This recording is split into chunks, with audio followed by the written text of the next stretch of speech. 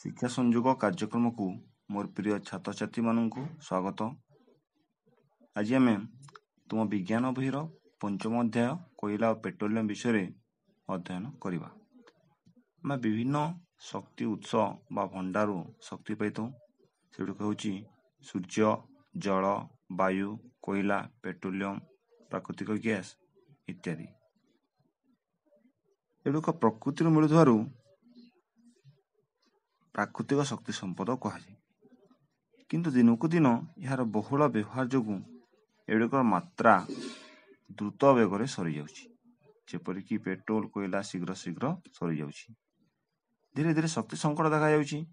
ଯେଉଁ ଶକ୍ତି ଉତ୍ସ ଗୁଡ଼ିକ ଶୀଘ୍ର ଶୀଘ୍ର ସରିଯାଏ ଓ ପୁନଃଭରଣା ପାଇଁ ଅଧିକ ସମୟ ଲାଗେ ସେହି ସବୁ ଅସୁବିଧାକୁ ଶକ୍ତି ସଙ୍କଟ କୁହାଯାଏ।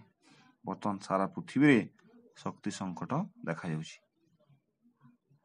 ଯେପରିକି ଏକ ଉଦାହରଣ ନିଆଯାଉ ବିଜୁଳି। ଏହାର ଆବଶ୍ୟକତା ଦିନକୁ ଦିନ ବଢ଼ିବାରେ ଲାଗିଛି କିନ୍ତୁ ଏହାର ଉତ୍ପାଦନ ସୀମିତ।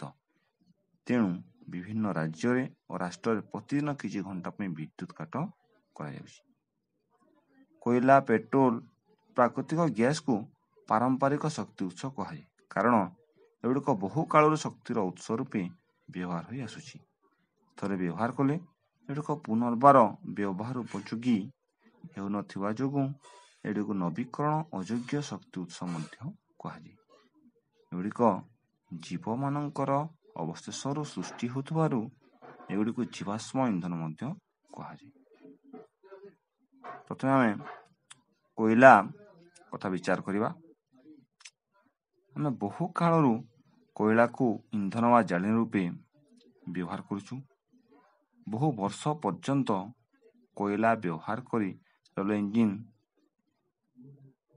ସବୁ ଚାଲୁଥିଲା ଧୀରେ ଧୀରେ ପରିବର୍ତ୍ତନ ହୋଇ ବିଦ୍ୟୁତ ଇଞ୍ଜିନ ବ୍ୟବହାର ହୋଇଛି ପୁଣି ଜଳ ବିଦ୍ୟୁତର ଅଭାବ ହେବା ଯୋଗୁଁ ତାପଜ ବିଦ୍ୟୁତ ଶକ୍ତି ମଧ୍ୟ ବ୍ୟବହାର ହେଉଛି ତାପଜ ବିଦ୍ୟୁତ କେନ୍ଦ୍ରରେ କୋଇଲା ଦ୍ୱାରା ଜଳକୁ ଉତ୍ତପ୍ତ କରି ନିର୍ଗତ ବାମ୍ଫ ଦ୍ୱାରା ଟରବାଇନ ଘୁରାଯାଇ ବିଦ୍ୟୁତ ଶକ୍ତି ଉତ୍ପାଦନ କରାଯାଏ କୋଇଲାର ଉତ୍ପତ୍ତି ସମ୍ବନ୍ଧରେ ଭୂତତ୍ତ୍ୱବିତ୍ ମାନେ ମତ ଦିଅନ୍ତି ଯେ ପ୍ରାୟ ତିନିଶହ ନିୟୁତ ବର୍ଷ ପରେ ବି ପୃଥିବୀ ପୃଷ୍ଠରେ ବିରାଟ କାୟ ଦ୍ରୁମ ସବୁ ଥିଲା ଘଞ୍ଚ ଅରଣ୍ୟ ଥିଲା ସନ୍ତସନ୍ତିଆ ଅଞ୍ଚଳ ସବୁ ଭରି ରହିଥିଲା।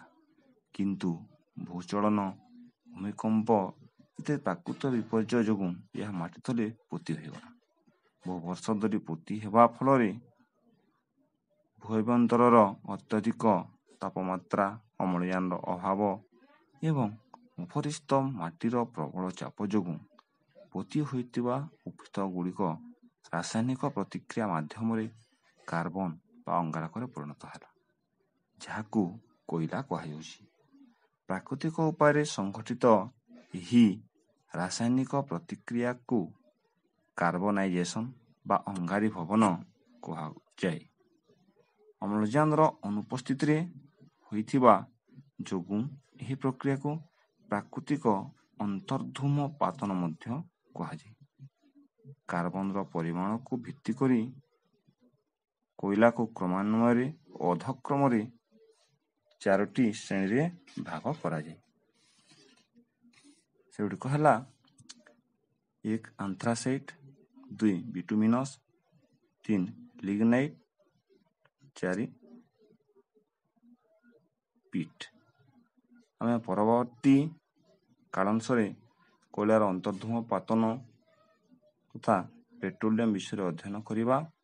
ତ ପାଠ୍ୟ ପୁସ୍ତକରେ ଥିବା କୋଇଲା ପେଟ୍ରୋଲିୟମ ପ୍ରସଙ୍ଗକୁ ଭଲ ଭାବରେ ପଢ଼ିବ ବୁଝିବା ପାଇଁ ଚେଷ୍ଟା କରିବ।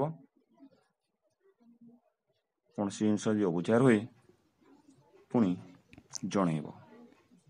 ଆଜି ପାଇଁ ଏତିକି ଧନ୍ୟବାଦ ପିଲାମାନେ ଆସ ଆମେ ଏଥର ଏ ପ୍ରଶ୍ନ ଗୁଡ଼ିକର ଉତ୍ତର ନିଜେ ଦେବା। ପ୍ରଶ୍ନ ଏକ ପାରମ୍ପରିକ ଶକ୍ତିର ଉତ୍ସ କାହାକୁ କୁହାଯାଏ ଓ କାହିଁକି କୁହାଯାଏ? ପ୍ରଶ୍ନ ଦୁଇ ତାପଜ ବିଦ୍ୟୁତ କେନ୍ଦ୍ରରେ କିପରି ବିଦ୍ୟୁତ ଶକ୍ତି ଉତ୍ପାଦନ କରାଯାଏ? ପ୍ରଶ୍ନ ତିନି ପୃଥିବୀ ଗର୍ଭରେ କୋଇଲା କିପରି ସୃଷ୍ଟି ହୋଇଛି? ପିଲାମାନେ ତୁମେ ଭିଡ଼ିଓଟିକୁ ବାରମ୍ବାର ଦେଖି ଏହି ପ୍ରଶ୍ନଗୁଡ଼ିକର ଉତ୍ତର ଦେବାକୁ ଚେଷ୍ଟା କରିବ।